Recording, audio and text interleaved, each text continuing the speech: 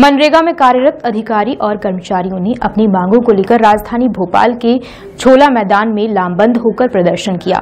इस प्रदर्शन में करीब दस हज़ार ऐसी ज़्यादा मनरेगा कर्मचारी शामिल हुए। ये नज़ारा राजधानी भोपाल के छोला के दशहरा मैदान का है, जहाँ पर हज़ारों की तादाद में मनरेगा में कार्यरत अधिकारी और कर्मचारियों ने लामबंद होकर सरकार के खिलाफ प्रदर्शन किया। इनकी मांग है कि इन्हें नियमित किया जाए।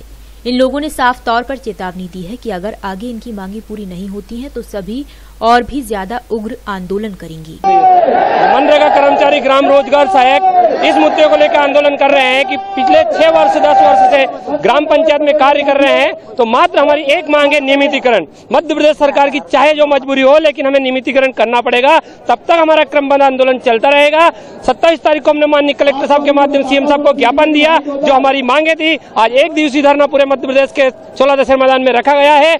आने वाली आठ से चौदह तारीख में कलमबंद हड़ताल की जाएगी। इसके बाद में यदि सरकार नहीं मानती है, नियमितीकरण नहीं करती है तो पच्चीस ऐसी अनिश्चितकालीन आंदोलन पे उतर आएगी। इनका साफ़ तौर पर कहना है की शासन प्रशासन ऐसी कई बार मांग को लेकर बात की गई है, लेकिन कोई कदम नहीं उठाए गए।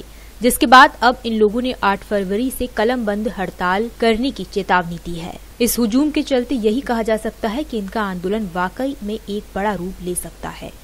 Bureau report D Live News Bhopal.